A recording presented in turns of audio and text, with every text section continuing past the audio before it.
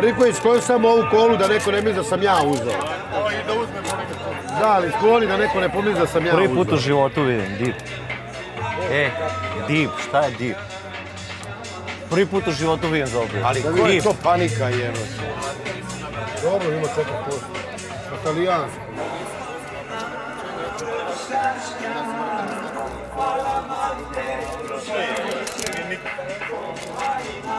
Dip, ne? Kako zove? D-E-E-P. Dip, ko je to? Prvi put u životu.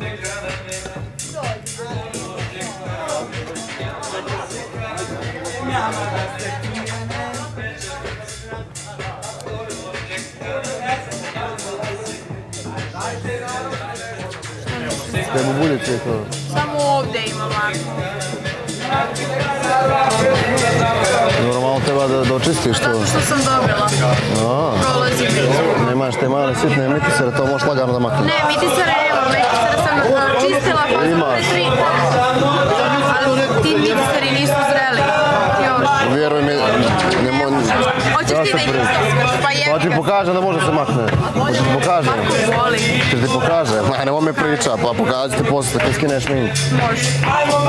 Jer uh, čistila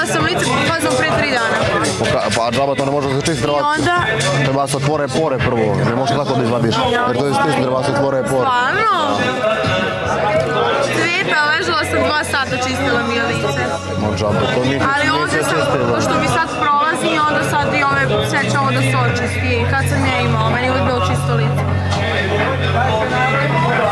Brate, izjavu. Si pojao slatko nešto? Ja jesam. Šećer gledao Šećer mi odmah na vene udari, gleda ovo. Marko, imao si svoj još jedno mjesec dana, ako znaš za Boga.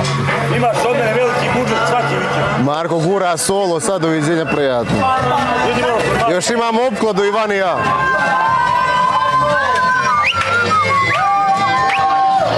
Koliko traje to, brate? Šta vremena? Da. Znači, za pola sata smo se ukinjali ovdje. Ovo je Sanjina